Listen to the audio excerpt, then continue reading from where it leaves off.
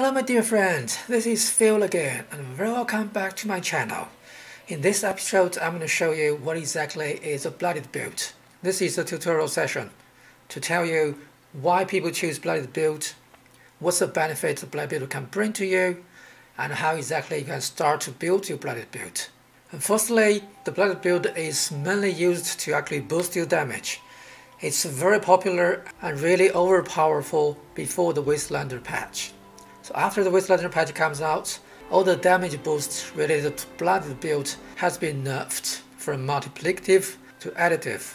But the Blooded build is still the strongest build in the current game. And the damage boosts for Blooded build mainly coming from three different factors. The first one is mutation.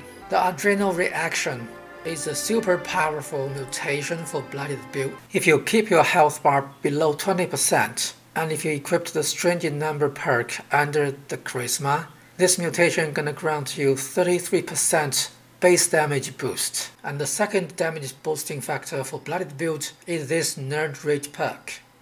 So below 20% health, you will gain 40 damage resistance, but that is not the key thing. The key thing is this 20% damage boost and 15% AP regen. So this perk along with the adrenal reaction mutation can give you around 100% base damage boost. That means it doubles the base damage of any weapon you're holding.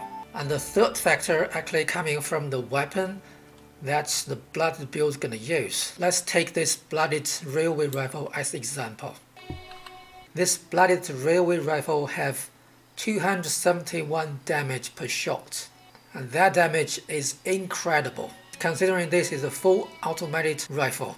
And by the way, the fire rate for all automated rifle is 75 in the game, without any legendary effects. So all the weapons with Blooded as their primary legendary effect can deal more damage with less health you have. So in general, every 5% health less you have the blood weapon gives you 5% base damage boost. So basically, if you are running a build with only 5% of your max health, you're gonna maximize the damage output of a blooded weapon with 95% base damage boost. So with these three factors, the adrenal reaction mutation, the nerd rage perk, and the blooded legendary effect on the weapon, you can have a little bit less than 180% base damage boost. That's what makes the blooded build so powerful. I can give you a quick demo to show if I actually increase my health, the damage of this blood weapon can drop. So currently my health is at 11%.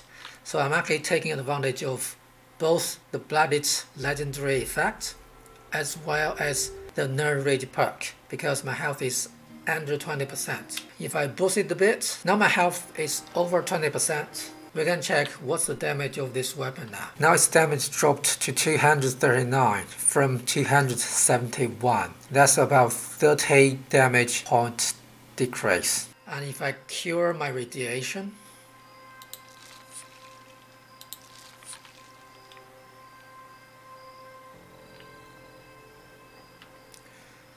And apparently I need to heal myself.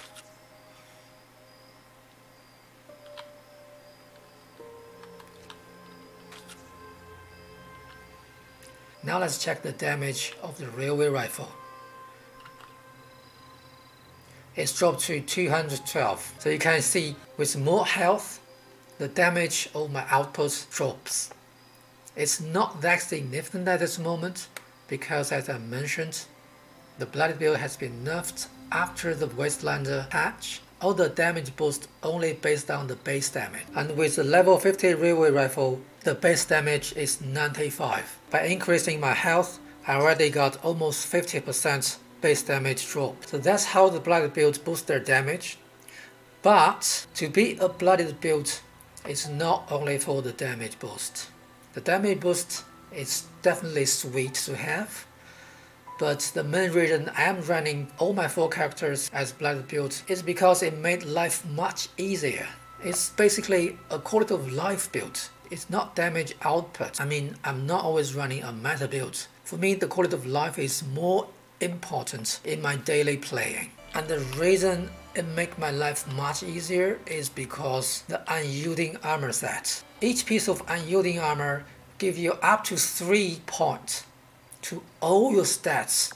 All your stats, which means the 7 special stats will be all increased up to 3 points if you are wearing unyielding armor and running with a blooded build. As long as your health is below 20%, every single piece of unyielding armor will add 3 points to each one of your specials. That's insanely powerful. For example, let me show you my special. With the 5 pieces of unyielding armor equipped, you can see how insanely all my stats are. One point here is the unyielding armor doesn't actually boost the endurance. This is purely to avoid the unyielding armor make one single player become invincible with so many endurance. My current character is commando build. It only have 3 points of strength, but with the help of the unyielding set, it boosts my strength to 90. That means I can carry much more, and as you understand, the weight management is always the pain on the back in the game. And with higher perception, you can detect enemy from further distance and increase your VATS accuracy. With Charisma, you can sell things with better price and buy things with lower price from the vendor robots, which make it much easier for cap farming. With a high intelligence like this, you can craft anything with maximum durability. And the most important thing is you gain XP much quicker because every single point of intelligence gives you 3% of extra XPs. So you level up much quicker than the non-blooded build. And even better, with the higher luck, all the gears you looted from the dead body will have better durabilities. And that means you can sell them with better prices. And if you are ranged build, you can achieve critical every other shot, which can again boost your damage significantly. And with the higher agility, you have much larger AP pool. You can run much longer. You can keep on shooting people in VATS without any breaking. You can sneak like professional even without the sneak perk. Neither the shadow modes on your armor. So in general, the blooded builds have a much better life to live. You have less thing to worry about inside the game. And that's the main reason I prefer to run the blooded build. Then at the end of the video, I will show you a quick tip on how to keep your health lower than 20%. So what you need is some toxic goos or toxic water. They both can give you a lot of radiations. For example, the toxic water give you 30 radiation per drink and toxic goo give you 125. So with these two toxic drinks, you can always keep your radiation as low as you want. Apparently, if you have a gamma gun, you can always use that gamma gun to shoot your own toes to give yourself radiations. Or you can run close to a radiation dump to get radiations. But I personally prefer these two things. They are very easy to get. You can find them in a lot of places, especially the Toxic Goos. You can find unlimited Toxic Goos in West Tek. Okay, so that's everything for this episode. In next episode, I'm going to show you how do I build my Blooded Commando, a very powerful build in the game.